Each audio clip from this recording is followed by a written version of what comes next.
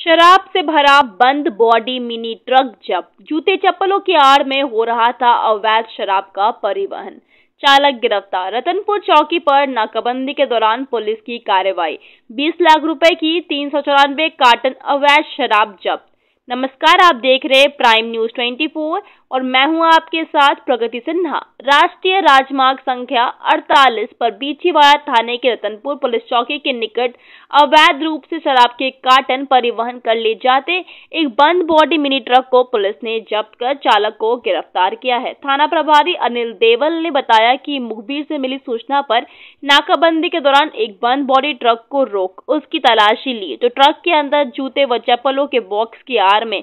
हरियाणा निर्मित अंग्रेज़ी शराब के कार्टन भरे पाए गए। इसके बाद ट्रक को पर ले जाया गया, जहाँ शराब के कर्टनों को उतरवाकर उनकी गिनती करने पर कुल तीन सौ चौरानवे कर्टन हरियाणा निर्मित अवैध शराब पाई गई जब्त की गई शराब की बाज़ार कीमत 20 लाख रुपए बताई जा रही है। पुलिस ने आरोपी ट्रक चालक डाबडला चितलवाना निवासी उनतीस वर्षीय सुरेश पिता देराराम पवार बिश्नोई को गिरफ़्तार कर आबकारी अधिनियम के तहत प्रकरण दर्ज कर अनुसंधान प्रारंभ किया। कार्रवाई के दौरान पुलिस टीम में बिछीवाड़ा थाना से उप निरीक्षक प्रभुलाल रतनपुर चौक की प्रभारी head constable Gajraj Singh, constable Ripu Daman Singh, Wasim Khan Bichhiwara constable Sunil Jagir, चालक विनोद कुमार मौजूद थे। प्राइम न्यूज़ 24 के लिए तेज सिंह राठौर की रिपोर्ट।